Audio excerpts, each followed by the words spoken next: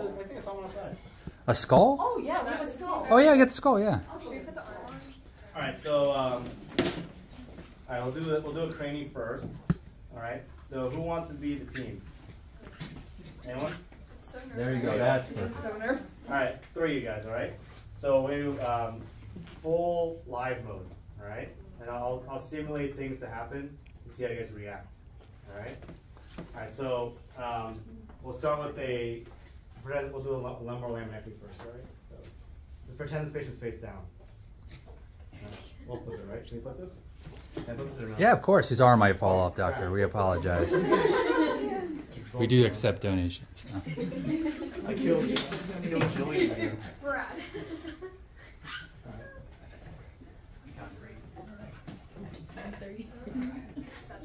Okay. All right, so we'll do a lumbar surgery, okay? All right, so we're doing a patient's a trauma. Their legs don't move because of a huge hematoma. All right, and a big fracture. All right, so I'm gonna tell you right now, there's a spinal fluid leak. Okay, so we'll gown up. All right, so who's my team? We got Sarah and Lily. Grab your gown and gloves, and the doctor make sure you. All right, all right, got it. All right, so you got a gown for me? Yes, sir. What kind of gloves do you want, doctor? Eight, eight. I'm really a 14. I squeeze it to an eight. As long as you didn't say no.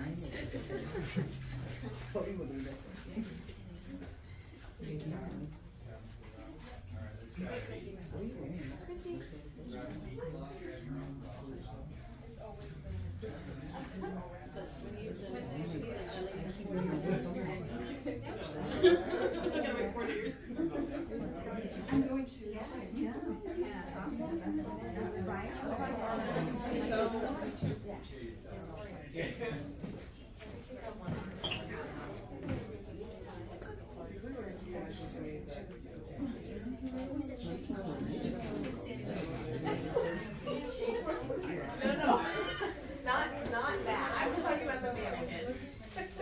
Grab yourself. We'll use that nail to open up. Um, open, see that nail? Open up on He's dead. down on there. Oh, okay. Like you normally do. Get your mask on. Get your. You got a hat on? All right, get a hat. Pressure. Patient's only dying. Honestly, Andre, Andre would be like, okay, that's fair. That's fair. It's like, you deserve that. Like, yes. So grab it, give it to doctor's. Uh, yeah. I'll grab, Get some I can goggles. grab the Yeah, let's just, let's get over there. Oh, Christy, Christy. Is that for me? Over there. Alright, so like, so get a- to get your hat on, get your booties on, get a mask, and then I'll you.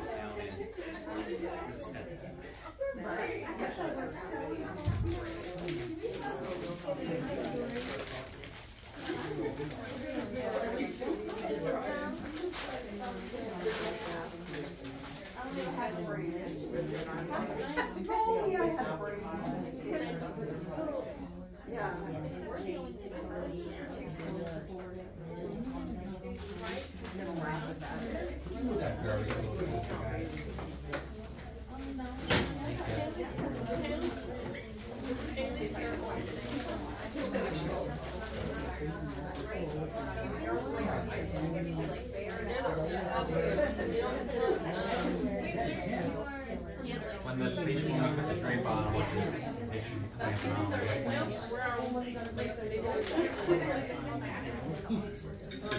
Oh yeah, grab those two clamps, right? Yeah.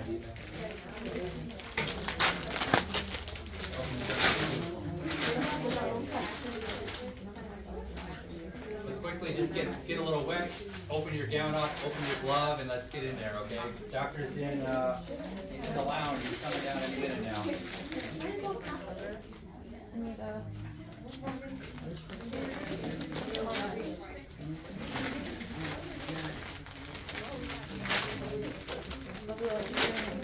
And if you see when they gown in, make sure you tie them up, okay? That's kind of an instinct I want you guys to see. Can we do it? Open up right there, let's get in there like you normally do. There you go. Open your glove, get a little wet.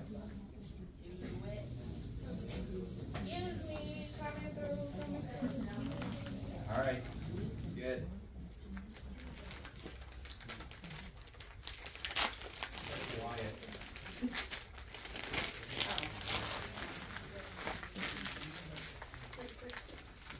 I'm right behind you, Lily.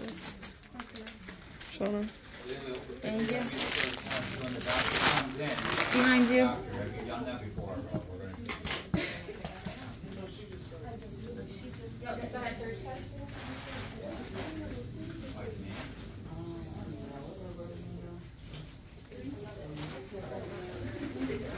Just here. I can tell you.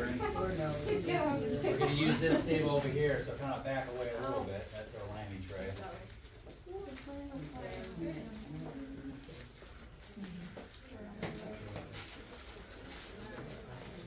The doctor's gonna come in. Just need to scooch behind you.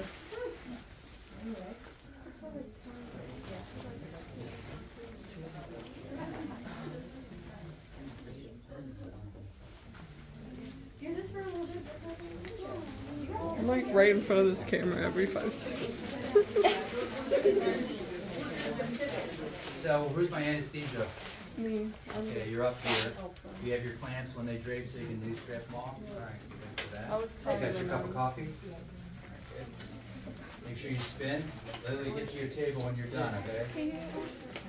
Yeah. Can you keep that out of my phone? We have one check in here.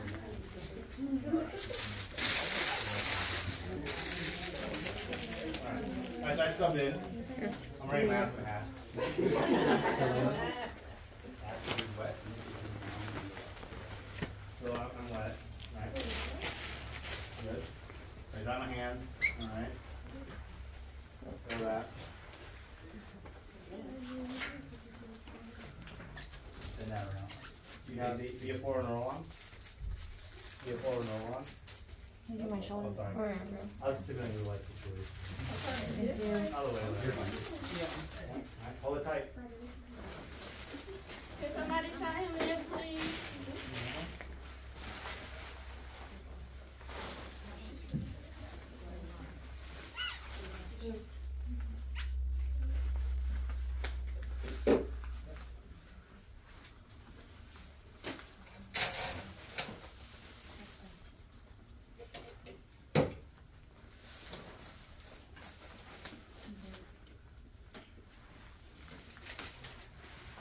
I think it's coming, right? Yeah. Ready?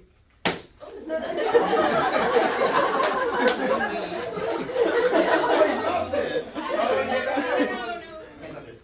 So once it, that's it, no, two lessons. So that's how I spin, alright? Really? So if you have like shoulder issues, wrist issues, you'll let me know. And, uh, The more I get to know you, the harder the slap gets. Alright, and then, um, so if he drops the thing, there's a good little lesson there. I was hoping you would drop it. So you can't grab it, it's not sterile. Okay, so then someone else can tie it up, or they, they, they take a clamp and clamp it. Alright, they take a clamp, I'll forget, I'll try to pull it off and it's stuck. I need a new glove this time. So that's the thing, okay? So the ball, It'd be a now, the ball's, we're all scrubbed in, right? Um, so now, now we're they did the prep, nurse the prep, okay? So now I'm gonna towel the patient off. Alright, so towels, four blue towels. We just pretend if we don't have them. We have them, yep. Yeah. You also have a down sheet if you want. There you go. So what I do is I do four towels first, and then I do a down sheet, then I do Ioban, okay, and then I do a drape on top. Everyone's different, ask them, and what do you like to do? Um, so I do, for sterility, I do, um, alcohol wash up front, I soak a bunch of four by fours and alcohol before I'm scrubbing in. So the alcohol kills everything, and then my nurse does a betadine scrub, towel, and then a ChloraPrep. So that's three different things. I'm sorry, four things if I have a HIPAA So you alcohol, then a Hibiclens brush, the scrub brush you use. She does that. He does that. Towel, then a chlor, then a um, betadine scrub. Towel, then ChloraPrep. So a germ that can survive four things that can kill it deserves to grow, right? so um, we do four different things on purpose because there's nothing that can survive four different things right? So that's how we keep our infection rate low. It's very important in Africa, right? Because if they get infection, they're gonna die. Why? I'm not there to fix it. All right, so complication avoidance is paramount when you're in other countries because there's not a surgeon there to fix it. So you can't have durotomies, wounds falling apart, infections, things like that. All right. So then down that's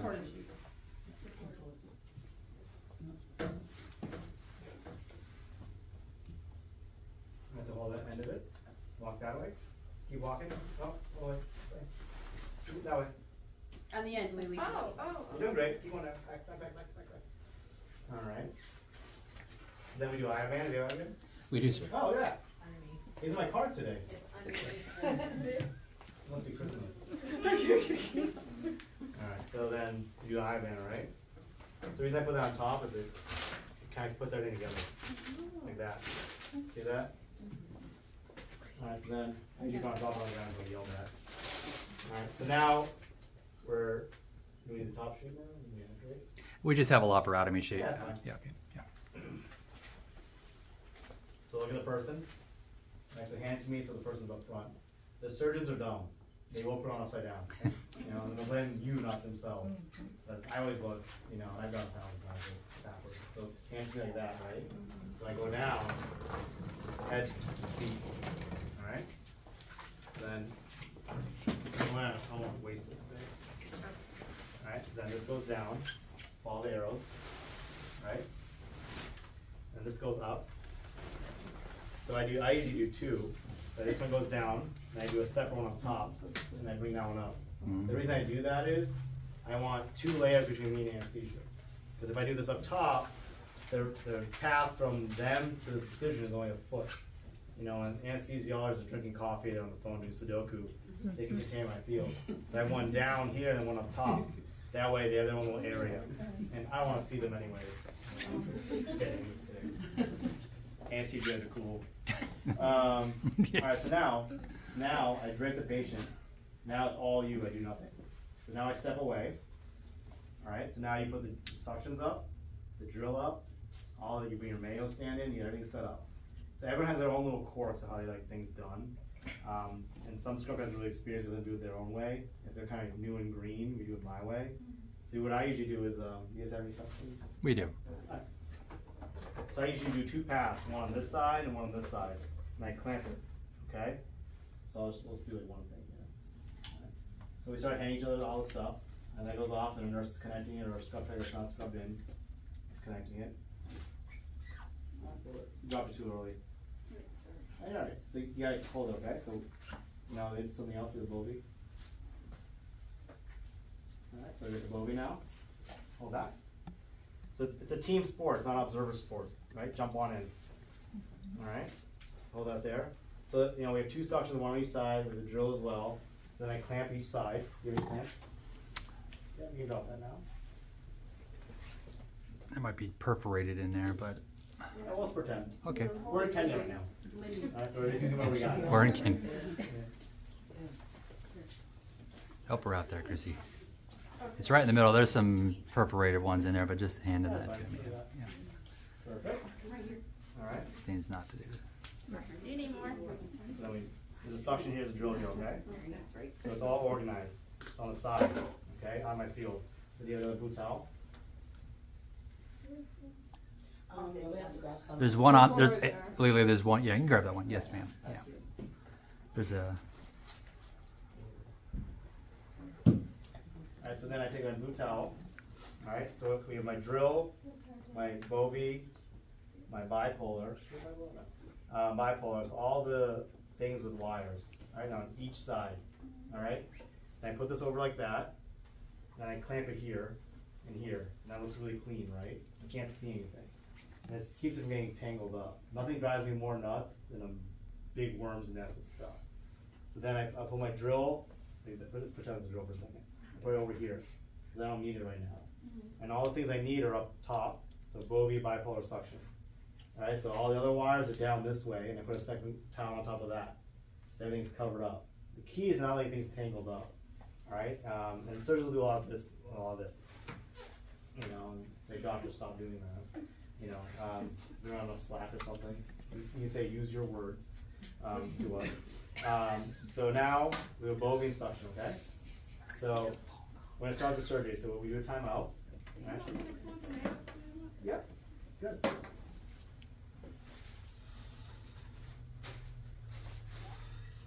I got patties too.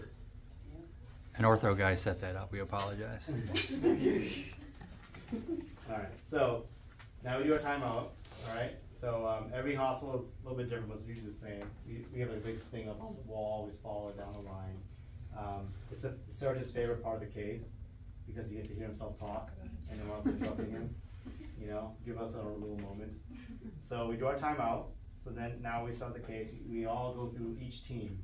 So at the end, go anesthesia, do you have any concerns? We're like, alright, blood pressure's soft, We're use suppressors. Okay, so we're mindful of, as they put the vitals on that screen, so you can watch them as well. And then we ask, um, nursing circle if they have any concerns, she'll say, okay, uh, we're doing a trauma surgery, we have two units of detective blood, cross blood in the room, okay, just in case we need it.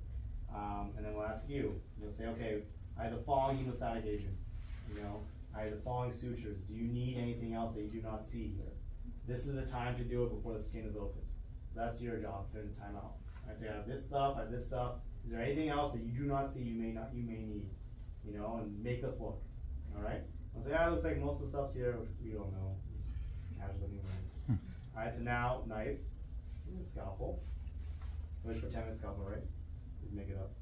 Alright, so your scalpel, I cut the skin, now what am I use? So I'm just gonna put my hand out, Um, the scalpel, now what? Section. Alright, so we're gonna suction my hand. What else do I need now? No. I'm doing landing. It's bleeding, how am I gonna fix it? Oh, Right the there. bipolar. Oh, oh yeah. Who, who invented the Bovie? What specialty? Neuro. Neurosurgeon. We were all gonna say Robert Same answer That's every always the time. answer, alright? So, so I do my dissection, I get my spinous process, I dissect on both sides, get my lamina exposed. Alright, so I now need a retractor, You know, what's this, show me cerebellum. You guys can help out too, don't, Oh. that are, that are, that are sink and swim here. Alright? Yeah, the cerebellum not- It's in your hand. So why are they called cerebellar? What was this invented for? Cerebellar surgery, Yeah. back of the head, right? Orthopedic surgeons will probably not call it that, right? So they'll call it a retractor, because they don't wanna use our names, right? So you put the cerebellar in, alright? Once I get down, then I, go- then I usually go to right angled, um, Gelpis. I don't know if we have one, no, no. We don't have the Gelpi now. We'll use these right What's this called, guys? It's Ireland. But Anyone? No? Neuro is week four. We haven't got there yet. Uh, We're like a, a little My timing advanced. is awful. I know. We should. Alright, so you can use this, um, we're pretending we're Kenya right now, right? So, yeah, you use right angle Gelpis, put them in, opens up the incision, okay? So now my spinous process exposed, my lamina exposed. Alright, now I'm gonna do my laminectomy first. So what do I do, what do I need now? How do I break the lamina, uh, spinous process up? What do we call it though? Leksell. So we're neurosurgeons. Yep. Yeah. Alright. So we, Leksell, so how you hand it to me? Nope. Nope. So I gotta be able to use it immediately. So I'm looking in, I'm not looking at you. So you hand it to me, so like, can, can't use it, can't use it this way. Think about it. Oh, Now you're like me. this okay. I'm having a, I'm having a moment here. It's like sweating going. Oh, yeah, you fast. yeah. You're freaking him out, Doug. Alright, so you gotta hand the instruments the way I use them, right? The surgeon's gonna get So the way it's designed is that part's straight, this part goes in the curvature of my hand. Oh. Alright, so you gotta hand it to the way I use it. So the key to surgery is you guys are handing the way the instrument's supposed to use their intended purpose. Alright? So I take the Leksell, okay, and you clean it, you have a s- rub a spray tech in your hand, there's this bone in here. Alright, so you're taking the bone out for me, so I'll, I won't say anything, I was going something like that. That's a universal symptom sign of take clean it up. Alright? Alright. Sometimes there'll be nothing in there. You still got just pretend to clean it. Alright? So one scrub tech student one time said, go tell you Zach Harrison's nothing in it. And he goes, Yeah, he just needs someone to touch it so he knows that something happened. he won't he won't go back in there unless like we literally like pretend to clean it. Because we're just psychologically weird like that. So if it's empty, just like just pretend. Like, oh yeah, cool, that's clean. Because you know we can't see, right? So I Leksell, I thin that, and then I use my drill. All right. So the drill pedals are never near me. You know, so I always ask, can I have the drill pedals in my car, please? Joke. so I drill down the lamina. Okay. So now what am I use to do the laminectomy? Kerrison. Kerrison? Right. Yeah. So now I ask, oh, I got some bleeding. Can I get a four Penfield with some uh, wax on the back of it? So I want to back over four Penfield. What's on a, yeah, over here. So can I, can I have a four Penfield? Help her out, guys. It's the one in the middle. It's the smallest one in the middle. No, no, that's I I feel like a rep now. It's that Yeah, one. it's right there. Dr. Penfield, head Dr. Z. That's right. Alright, so what's this right here? A lot of them have it written on them usually, right? Nope. So not, it's even better. You can't cheat now. Which Penfield is this? What number is this? Two. No, it's one. Oh, that's Okay. wrong. So this is my favorite instrument. I like this little cup here, so I can scrape things without cutting into them. I use this in the brain a lot to scrape. All right. Four Penfield is really good for applying wax. What we got? Oh, yeah. So I can use this like on the back of a bone and go like this. Okay. All right.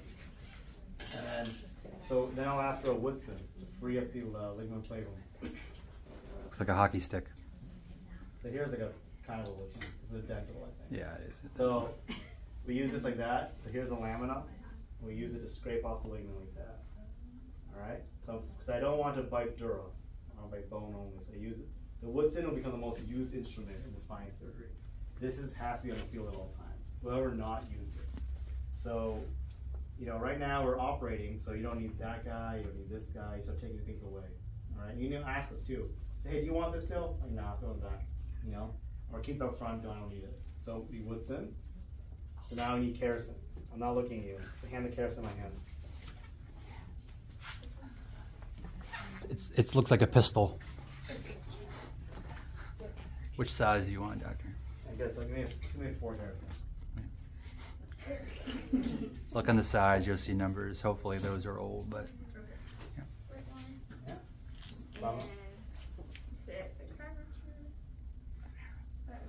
Mama. You're doing great, lady. you're doing it. Can I use it? Can I use this thing now? It's backbiting. That back, I was just gonna say. Yeah. I did, I did, yeah, that's advanced. We'll get there in a Okay. second. So this, this is um, how you normally use a Kerrison. And if I want it back, I'll say back. I'll just say back, the word back. So if I say back, you hand me like this. Oh, okay. Then I'll come, I'll come in like this and do like that. But, you know, I'll alternate, but I'll just say the word back, so. And that's all, you know, if I just say Kerrison, it just assume it's this way, alright?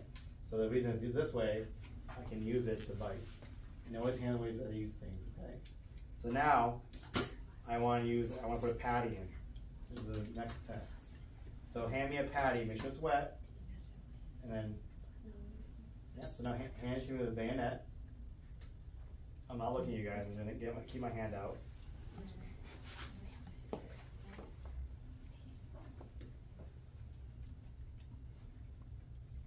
So, is this correct, guys? Nope. No. Alright, so try it again.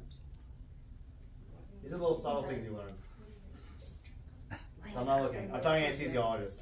So how's golf yesterday? yeah, you know, can't believe this rain.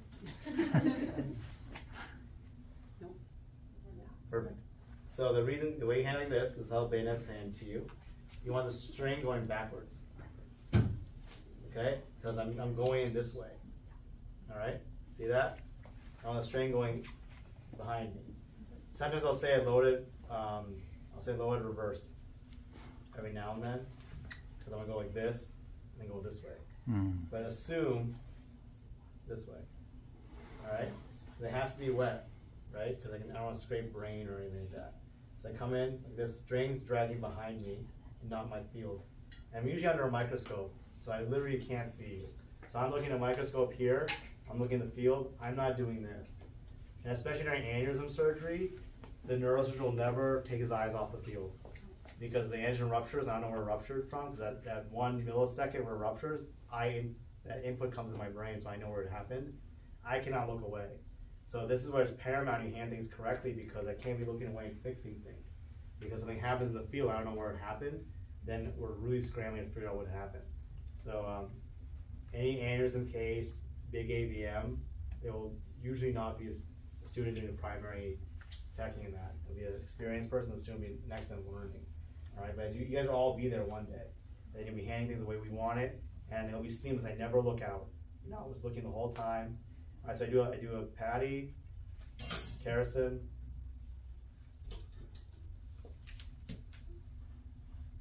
Good. Can I have a three backhanded? I'm getting nervous. Yep. Three backhanded, I'll say it thirty-five times. Really good. Alright, so, you know, so the laminectomy is done. Alright, Woodson. Well, the dental you guys have. Yeah. Uh, yeah. Yep. Nope. That's not it, guys.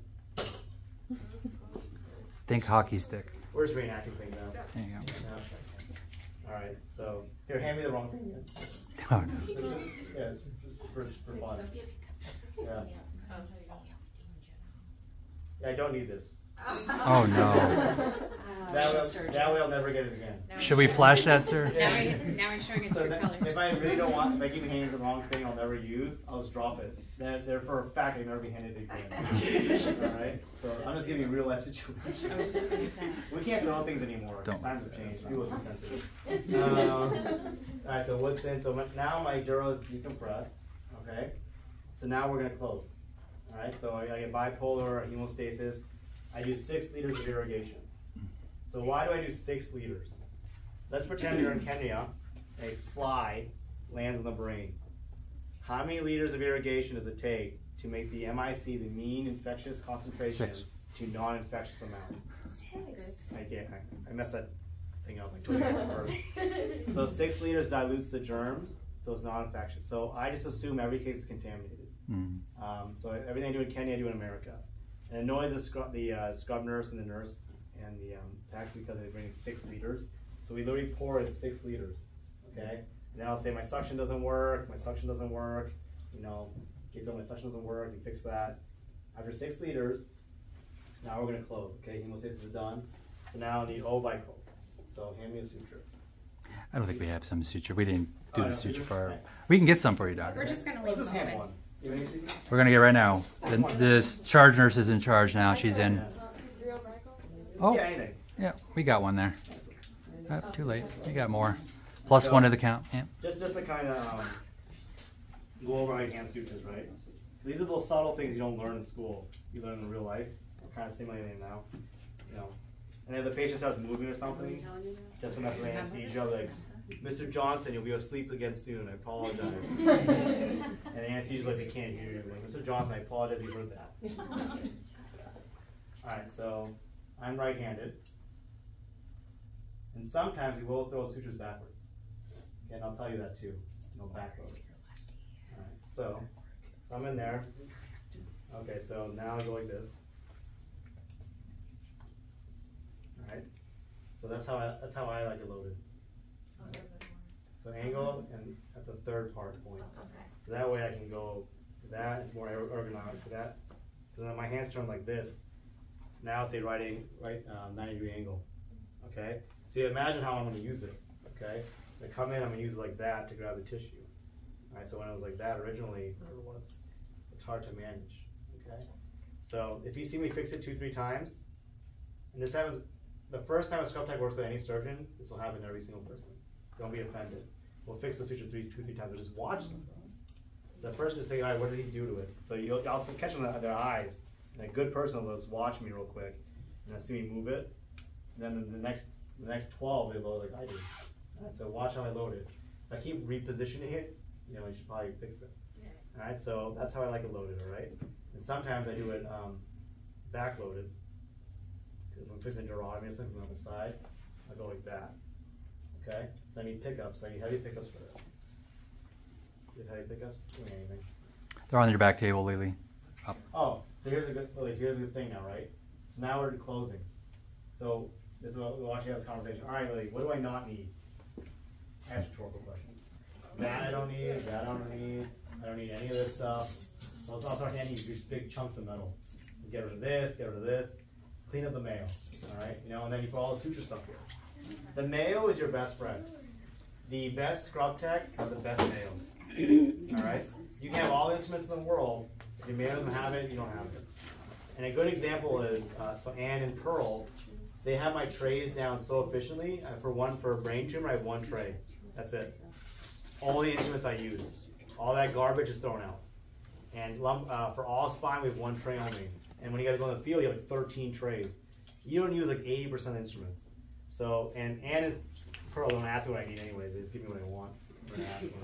When I ask them. They'll say you'll be using this today, you know. But you, you don't start with that right off the bat until you get to know the surgeon.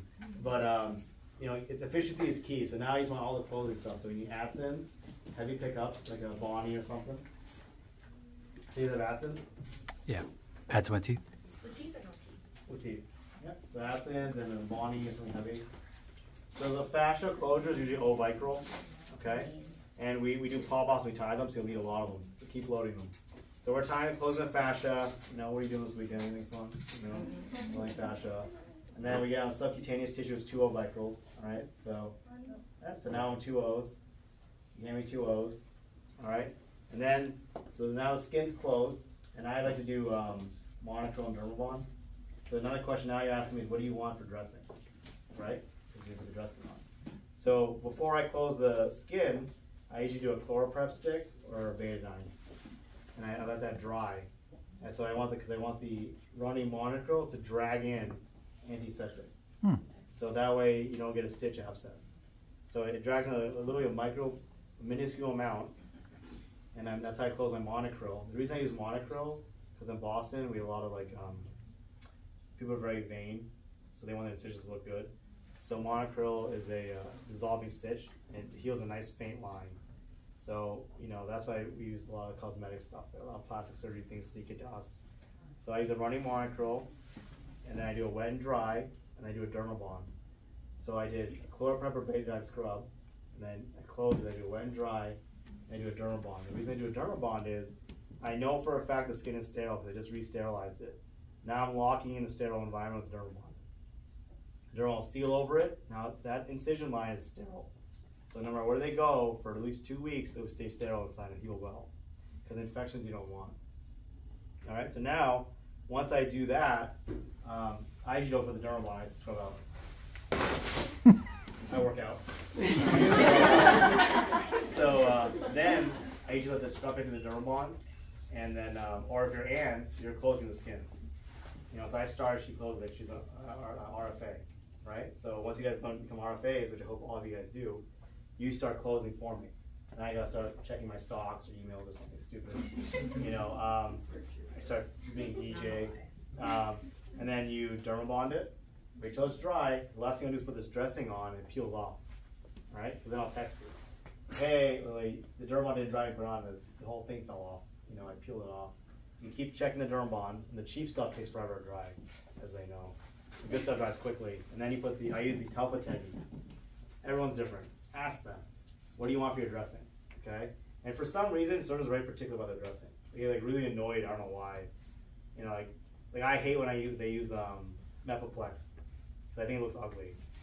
It's like it's like like you know like those like uh, those New Balance dad sneakers. In my mind, it looks like. So like uh, so I like uh, Telfa Tech. It looks clean and elegant. So it's a little you know white strip and a little tegaderm. And the other thing we need to know is do they have allergies, they have a tape allergy, tegaderm allergy? Then if they do, use paper tape because no one's allergic to paper tape. Right. So those are things you gotta know, and then you take everything down. So now I'm out. Right.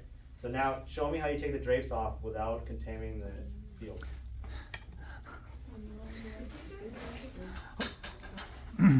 so you don't think we're watching, but we're watching in the corner of our eyes. Does that make sense? So maybe in the corner dictating, but there's always an eye on the field. Even if you don't know that we're there. So you take this, you first take off the non-disposables, right? So the drill you can't throw in the garbage, right? You'll get in trouble. The bone scalpel, hundred thousand dollar piece of equipment, can't throw in the garbage. The Brainlab, the thing we use for um, navigation of the brain, you definitely can't throw that in the garbage. So anything that's not disposable has to come off and not throw in the garbage. So now you took all the stuff off, right?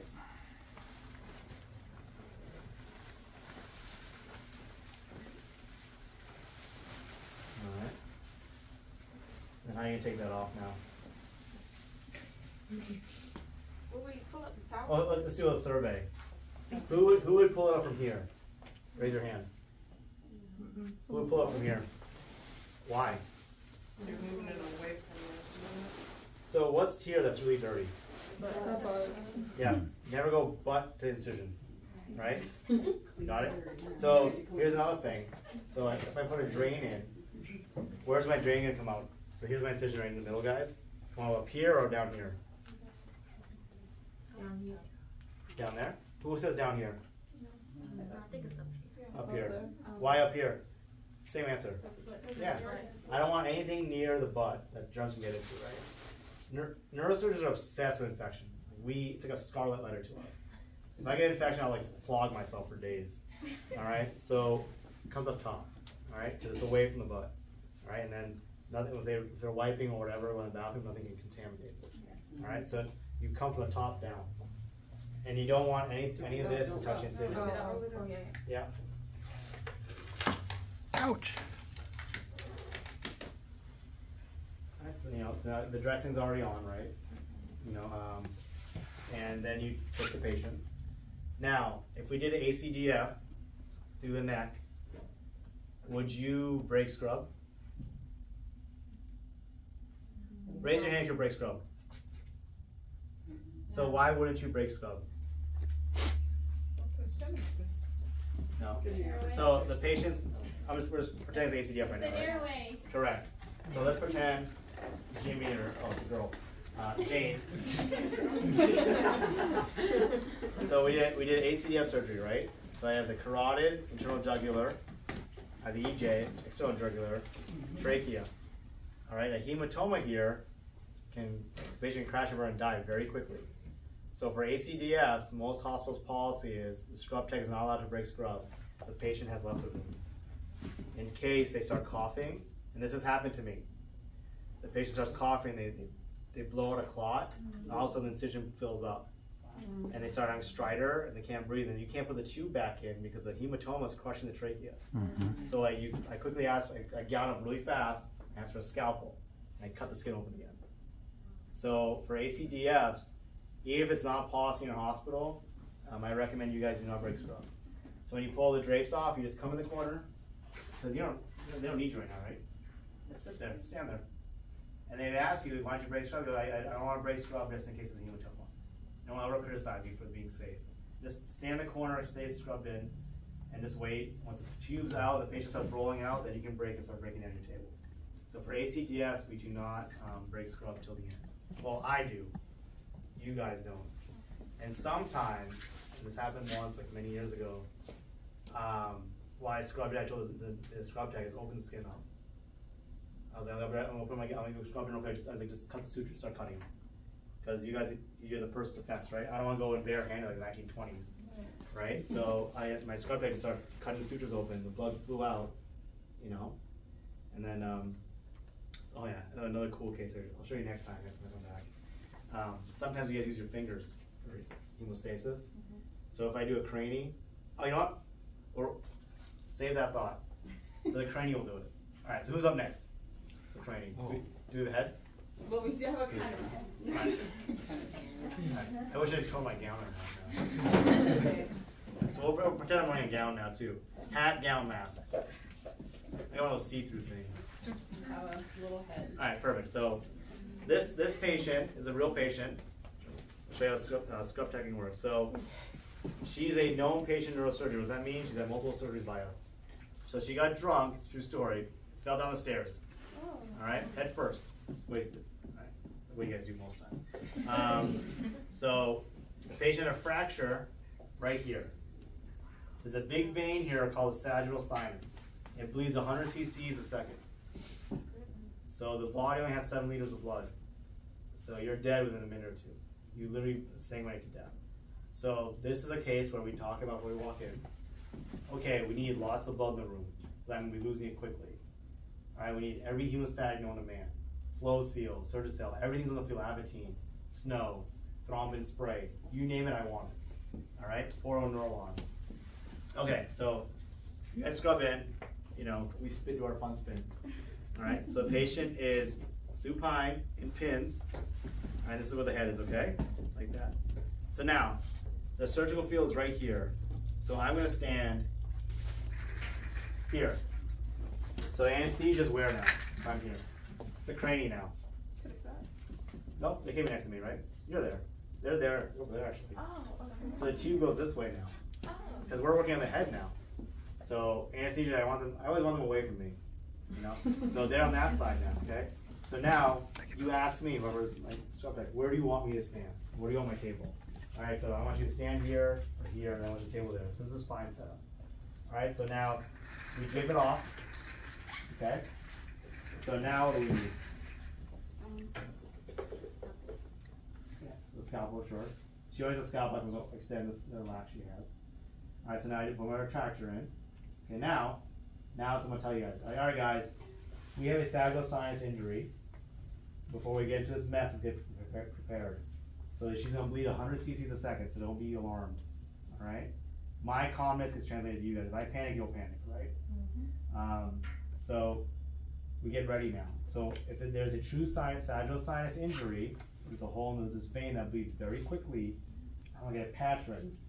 So I take some periosteum with some tissue in the skull, harvest it, make a little square, and we've done nothing yet, right? Not in trouble yet.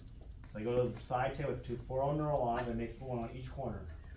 That's my graph. Now you snap them on each end. So okay, alright, so uh, you're my scrub tech now, right? So is this a situation where you'll be by yourself? No. So you say, hey guys, can you scrub it with me?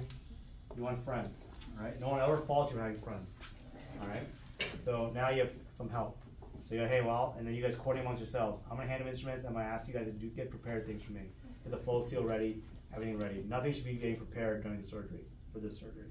Alright, so my, my graft ready that I made. Four neurons, little square, okay? So now I do my craning. Alright, this is this actually happened. So like burr hole, burr hole, burr hole, burr hole. I spin it, spin it, spin it. I lift the bone up. All hell breaks loose. Blood's flying everywhere. Alright, we found there is a hole. So I took my scrub tech's finger. I went like that. Wow. On the hole.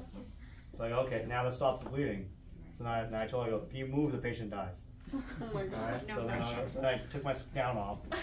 I'm just kidding. Stay here all It's like a grenade, you know? Alright, so now, so now you're putting your finger there, so now she's out of the equation, right? Mm-hmm. So now you guys have to help me now, alright? So this is happens. So now I walk over, you get my graft, alright, you bring it over to me. So then now we're setting the graft right here. So we're gonna slide it in, and I'm gonna suture around her finger. So I'll move her finger as I suture it down, I fix the hole, and then I'll put take her finger out then. Alright? Mm-hmm. So now we're safe. Okay? Now I'll show you, I actually have pictures of this, we'll go back and show you pictures real quick. So you can kind of visualize what we just did. If we have time, is it? We good? Twelve fifty. Is it be anywhere? Working? Alright, so now, this bone was exposed to air, right? Because she fell down the stairs, you can see the skull when she came in. So we can't use this bone anymore. Right, it's, it's dirty, unless the staircase was sterile, which I doubt. She didn't fall in the OR. Um, so we do a mesh cranioplasty, and we discussed this before. So I put the screws in, if you can't put the screw in, I ask you if you need me some, open some jars for you. Alright, and we, we close the skin, okay? Put some drains in there. Alright, so now patient goes away, and that, essentially that's the case, okay? So let's pretend the bleeding I couldn't get to stop, you know? That's how need rapid fire Floseal, Surgicel, Gelfoam thrombin, I build a mountain, you know? And the, the number one way to stop bleeding is pressure. So you just kind of put pressure, your fingers a bit, your fingers a bit most important instrument. And then until I figure things out. The key is stop the bleeding momentarily you take a deep breath and figure things out. Alright, so we'll do that sometimes, alright? And we do get short sometimes, and we're not trying to be mean or assholes when it's bleeding a lot. It's very stressful for us mm-hmm. because we know the patient can bleed to death. So our, we might stop using the word please and thank you, and it'll be short sentences. Floseal now, this now, hurry up, let's go. You know, don't be offended. Alright, we may be like a little dickish, I guess. But it's just because like the, the- we're not freaking out, but there's stress internally, and all pleasantries go out the window.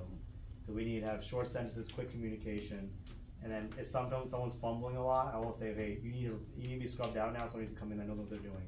And it's not offensive to you, just you're not experienced enough for this situation. And so if you don't feel comfortable, say it. Say, hey, I don't feel comfortable in this case. I want someone more experienced with me. No one's ever gonna fault you. You know.